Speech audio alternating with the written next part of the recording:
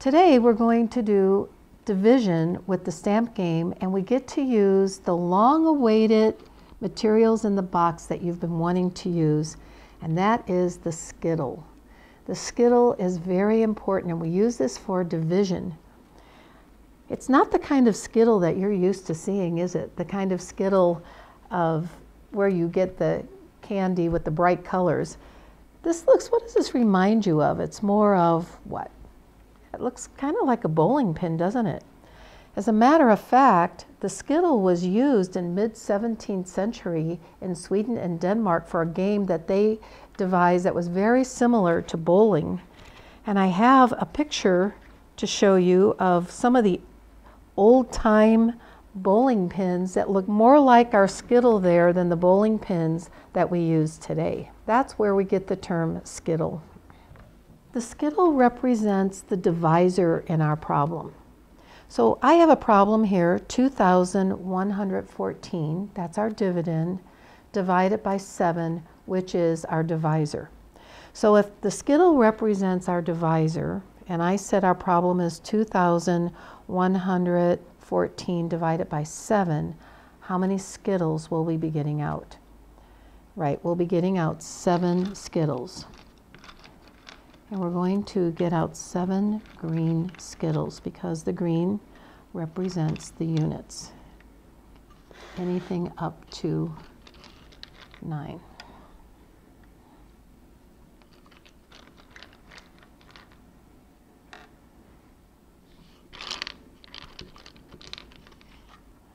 Okay, we have seven Skittles. Let's get out our dividend, and we're just going to put that here, 2,000 one hundred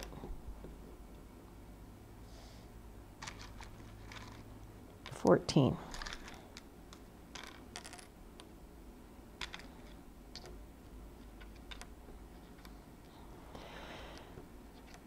Let's review the rules we have about division as we go through this problem. What's one of the things we know about division that's different from all the other operations?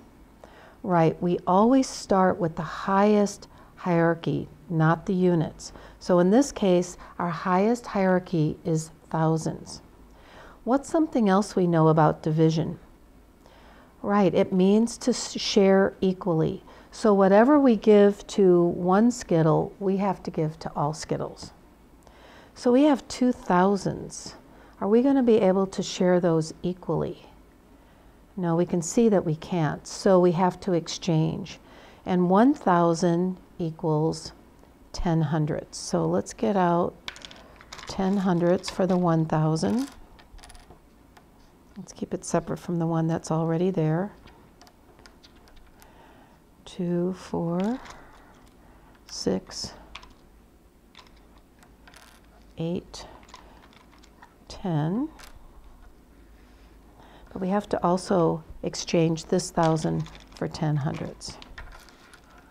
Two, four, six, eight, ten. All right, do we have enough hundredths now that we can share equally? Yes, we do. We have 21 hundredths. So let's share equally.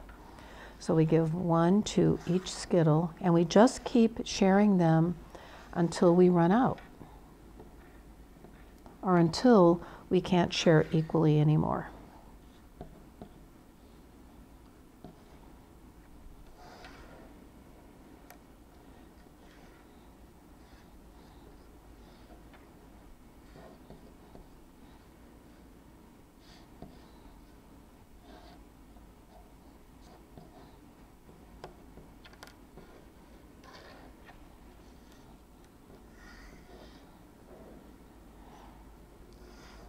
And of course, the children will help distribute these.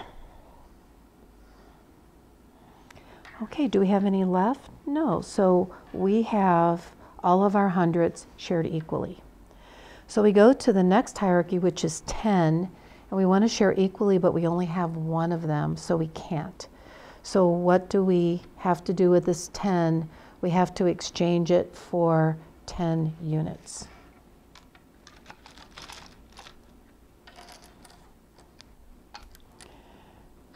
Two, four, six, eight, 10. Now we have our 10 and our 4, so we have 14 we can exchange. We can share equally. Do you think we have enough to put out two at a time? Maybe. Let's try it and see. Let's see. As long as we share equally, we can do that.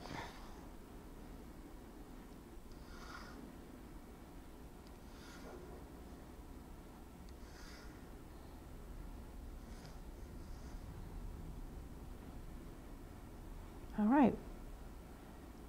So what else have we learned about division? What about the answer? The answer is our quotient. What about this quotient? How do we find it? Right, the answer to a division problem is what one skittle gets. It's, we've shared equally and the answer is what one skittle gets. So let's, what skittle would you like to choose?